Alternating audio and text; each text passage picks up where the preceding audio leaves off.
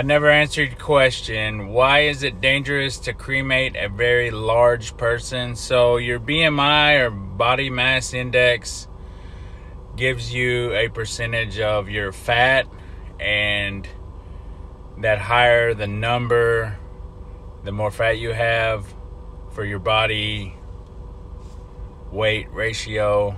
The fat burns hotter and faster, so it becomes a danger to people in the crematory because it's all the fat you're burning super hot, super fast.